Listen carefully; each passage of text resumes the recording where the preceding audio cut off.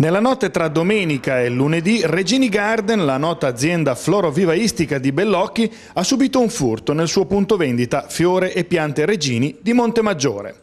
Come spesso accade, molti danni e bottino scarso, appena 56 euro di contanti dal fondo cassa e gli spiccioli di una macchinetta del caffè a disposizione dei clienti, ma una finestra mandata in pezzi da dove con ogni probabilità si sono introdotti malviventi nel locale.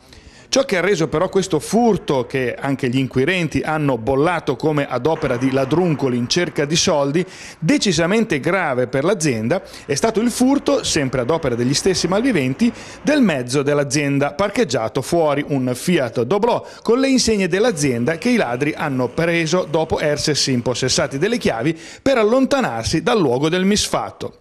Non è la prima volta che questo accade alla Regini Garden, sempre a seguito di un furto. Si era vista già portare via il mezzo dai ladri per poi ritrovarlo dopo diverso tempo, ma molto lontano dall'attività.